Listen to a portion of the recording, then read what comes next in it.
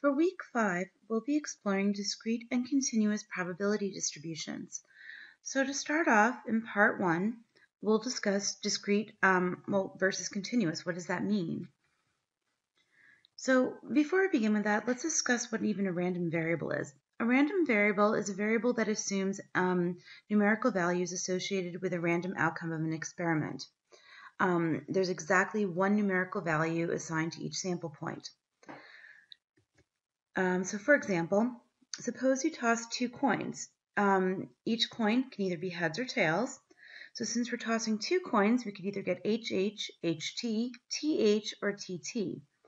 So maybe our variable is counting the number of heads. So if we think about it, we could get one head, two heads, or no heads. So our possible outcomes are 0, 1, or 2 um, for a random variable.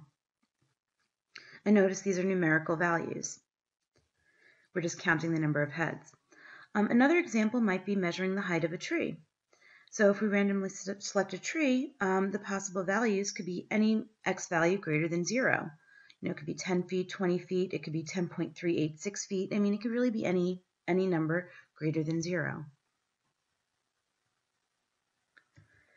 Okay, so those two variables were very different. The first one that we explored in the previous slide um, could only take on certain values, 0, 1, or 2. It could only be whole numbers, um, or integers, I should say.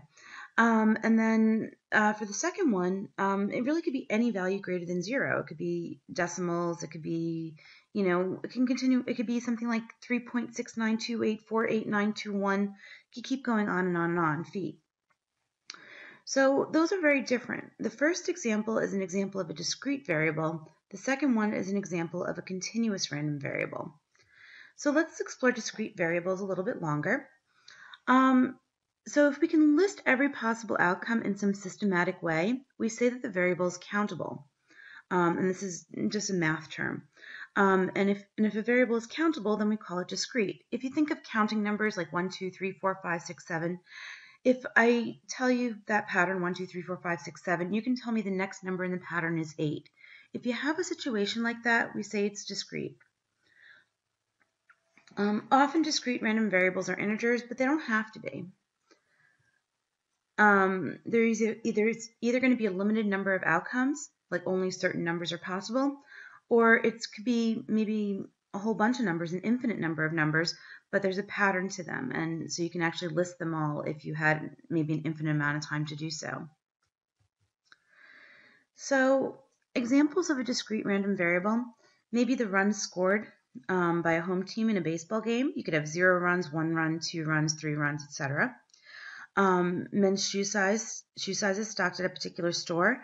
In this case, they might have all the shoe sizes from 7 to 14, but keep in mind that only whole sizes and half sizes will be possible.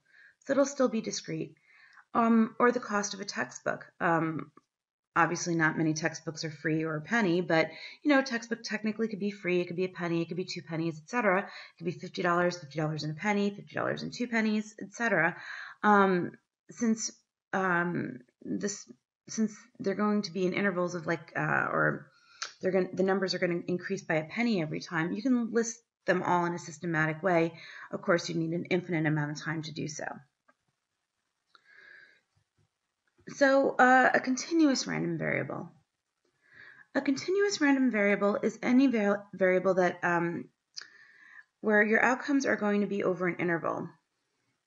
So uh, like for example the length of a femur, um, just a bone, um, it has to be greater than zero.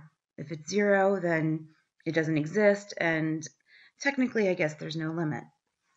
Um, time it takes to complete an exam, that's 120 minutes. It could be any time between 0 and 120 minutes, um, not including 0 because you can't complete an exam in 0 minutes.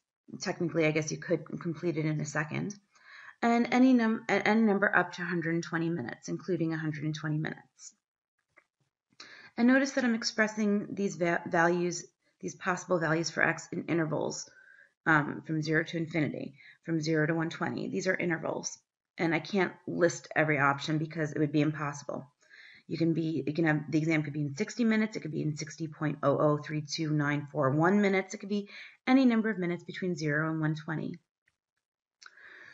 So just to illustrate this concept, a discrete variable would just be points on a number line, where a continuous variable would be a number line shaded in. So just the region of the number line that you'd shade in. So let's try to identify if the following is discrete or continuous. So the number of innings in a baseball game, would that be discrete or continuous? Um, exact time measured in minutes of a baseball game, grade on a test, a person's exact height. Let's go through each of these. Okay, so the number of innings in a baseball game, well, we're counting the number of innings. Um, so it could be one inning, two innings, three innings, etc. Even more than nine innings are possible. So this would be discrete because only certain options are allowed. Um, what about the exact time of a baseball game measured in minutes? So even though it's measured in minutes, it could be a fraction of a minute. It could be um, the time could be something like 200.3892141 minutes. It could be any number of minutes. So it's continuous. What about grade on a test? Well, um, the way most people grade a test is it's integers, right, or really whole numbers, usually between 0 and 100. But you can't, even though I'm giving an interval there, usually you can't get a 93.291, for example. So not any number in that interval is possible, only the integers are. So therefore, I would say it's discrete. What about a person's exact height? Again, this whole exact height thing or actual height thing, um, if you have exact or actual as the keyword in there, it's going to be continuous usually because it can be any number, maybe between 2 feet and 8 feet, maybe or 9 feet. Okay, so why do we care? So recognizing that a variable is either discrete or continuous will change how you decide to analyze that variable. Um, so we'll explore these discrete random variables in the next sections, um, 4.2 and 4.3 um, of your text, and we'll explore continuous variables in 4.4 and 4.5. For the majority of the rest of the course, we'll actually be dealing with continuous random variables. Um, but I should make just a few notes here. Um, and these aren't that important of notes, but just to kind of um, uh, prevent any kind of confusion. Continuous variables um, are often measured at discrete levels um, just due to rounding. For example, you might have um, a continuous variable like a person's height, but we might round a person's height to the nearest inch or the nearest half inch. Even though we're rounding it, and so essentially we're treating it like it, it really is discrete since it is rounded, since the actual variable was continuous, we'll treat it like it's continuous when we analyze it. And there's that's not a big deal. Don't worry about it too much. Um, also, discrete variables um, that have very that have a lot of levels to it, like test scores that can be any integer between 0 and 100.